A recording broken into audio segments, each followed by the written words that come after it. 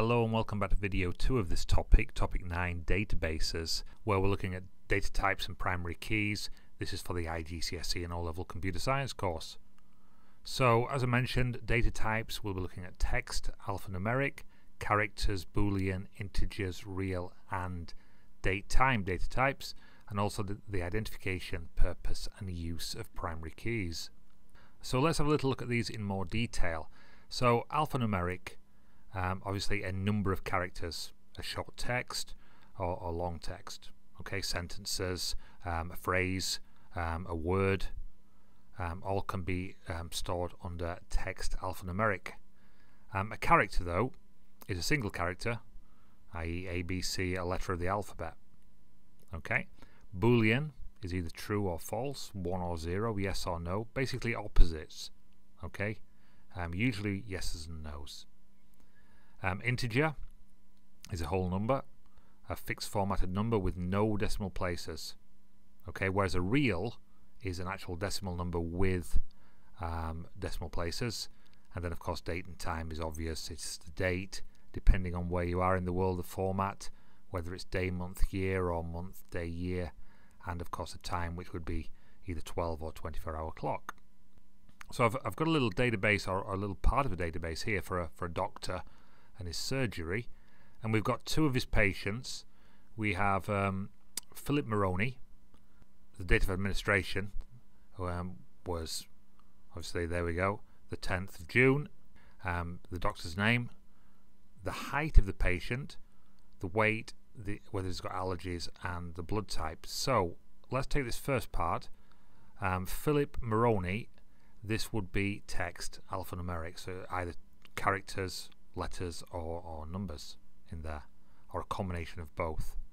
Administration data, this is obviously a date field, date and time. The doctor, again, we've gone back to um, text alphanumeric. Now the real number here is because we've got a decimal, okay, for the height. And for the weight, we've rounded the um, kilograms up into whole numbers, therefore these are integers. Whether the patient got, has got allergies or not, um, yes, they have. No, they haven't. It can't be both. It's one or the other. And then a single character, types of blood for this database. I know there's more different types, but we're just sort of emphasizing we've got an A and an O there for, for different types, and there that's a character field. Okay. Um, if I add another field to the database, i.e., another column, I'm going to add one at the very beginning, and this is going to be what they call my primary key. Now we do this because we might have more than one Philip Maroney registered at the doctor's. So what we would do is assign this person a primary key. So this is unique to the database. There is only one Philip Maroney with this particular key. Okay.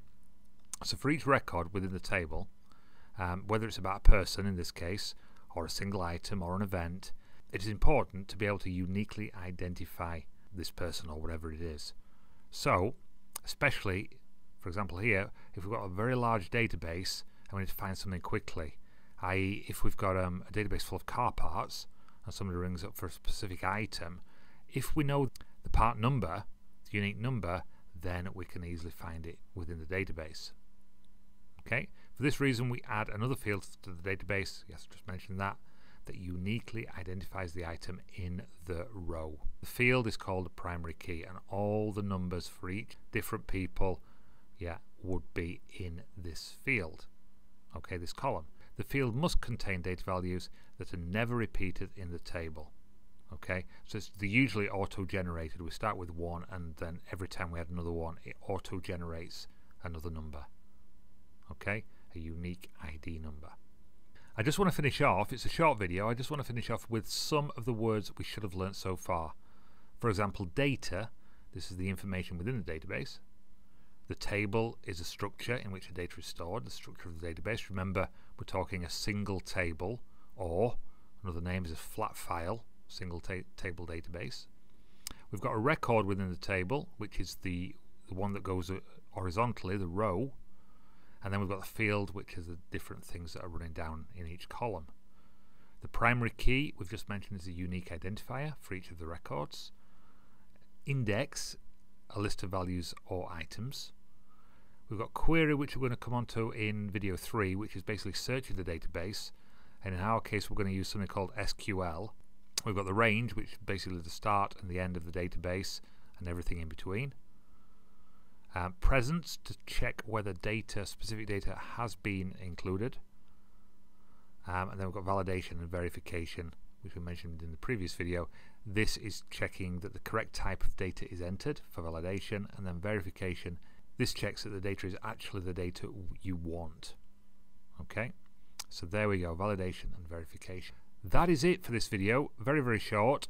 Um, video 3 will be more about queries and SQL. But until next time, thank you very much indeed for watching. Please subscribe, and I will see you next time. Please continue to ask questions, leave your comments, hit notifications, and please subscribe. And finally, if you wish to buy me a coffee, I'd be truly grateful. Please visit buymeacoffee.com forward slash learning zone. Thank you very much indeed. See you next time. Bye for now.